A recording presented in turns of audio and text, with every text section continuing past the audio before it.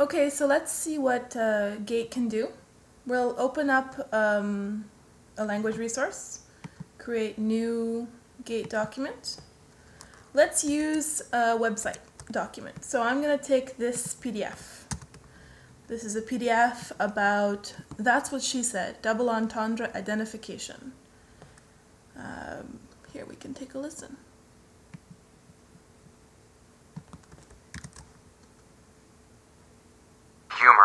Identikation is a hard natural language understanding problem.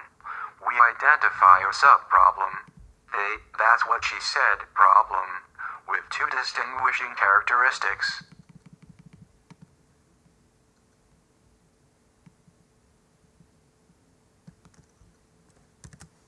An expression that can be understood in two different ways. An innocuous, straightforward way, given the context, and a risky way that indirectly alludes to a different, indecent context. Hmm, sounds like fun. Let's find out what this document contains and what it looks like. Oh, it copied. So we're going to take the file name, straight from the web, don't need to put it on my computer. And I'm going to call this document, that's what she said. Okay, normally you put an encoding here, just in case, but in this case, I don't know what the encoding is, I'll leave it blank. Alright, it's loading. After we load that, we're going to make um, a corpus with it.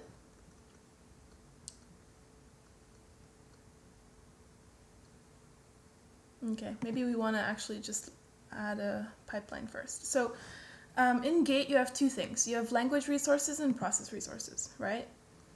Uh, language resources contain language, processing resources go into your pipeline and create um, a pipeline application.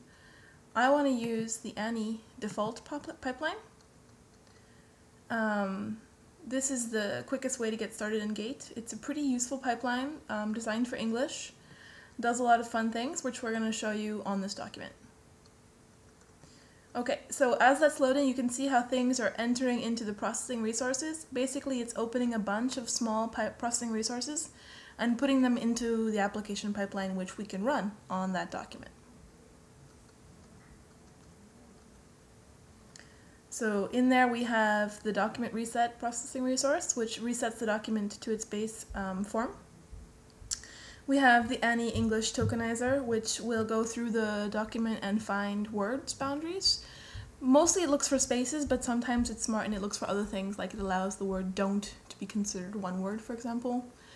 Um, we have some other resources like the gazetteer list, which will tag uh, certain things um, as, for example, that's a company, or it'll tag something as a, a, a country um, which is really useful when you're working on a document you want to know what those things are. So that's a way to bring in world knowledge um, into your pipeline. We have the sentence splitter. Once you've done your gazetteer list, you know whether periods are real periods or if they're part of some sort of abbreviation. So you run that. Then you have the part of speech tagger, which will put part of speeches on the words. So for example, if a word is a verb, it will tag it as a verb if it recognizes it um, nouns, adjectives, verbs past tense, um, verbs with gerunds, other things like that. It uses the um, Penn Treebank uh, tag set. Uh, after that, it does named entity recognition, which is also really important whenever you're going to do some sort of discourse analysis, because generally what people are looking for when they're working on corpus linguistics is tying together events and people and discovering knowledge based on um, those things that they find. So they, lot, they look a lot for named entities. Um, so let's take a look at the Annie pipeline. Double click on Annie. Now you can see the pipeline in action. So here you have the actual order of the pipeline. The pipeline is a pipe, so literally um, each element's input um, comes from the output of the element before it. And the thing that you run through the pipe is the document.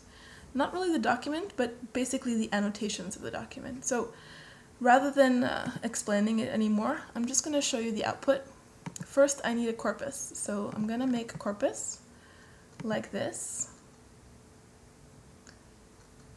And that's what it did. So it created a corpus for me. All right, I'm going to go back in here. Now I can select my corpus and I can click run. It's going to take a few minutes and I'll let it run.